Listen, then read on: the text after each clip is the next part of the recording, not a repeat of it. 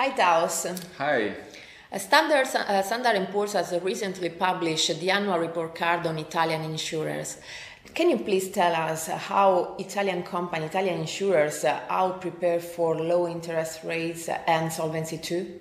Hi, Paola. Actually, uh, Italian insurers have put aside capital, increased capital in recent years, and have also uh, benefited from favorable market trends and the appreciation of the value of their bonds, especially their government, Italian government bonds.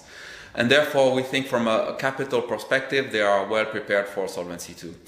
What's more, in the life insurance side, they have reduced the minimum guaranteed rates they offer on new life insurance policies to 0%. And this is reducing the, the cost of uh, cap, uh, Solvency II requirements. And they also have maintained very good uh, matching of assets and liabilities. So we don't think Solvency II will be a problem when it comes into effect on January 1, 2016. What are the currently key strengths of Italian insurers?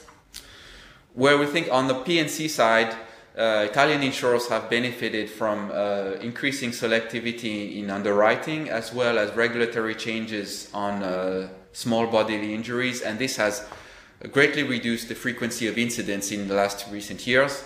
And now the P&C market is one of the most profitable after having been one of the worst profitable in Europe.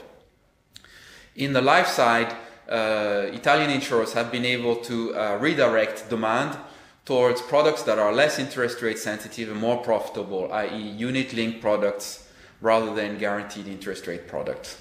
And what are the key challenges that you see in the forthcoming months?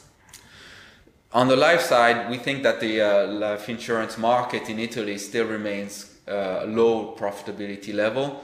Uh, what's more, there has been historically a very uh, higher than European average level of surrenders and volatility in net inflows, and this could create difficulties to Italian insurers in case of an unexpected hike in interest rates.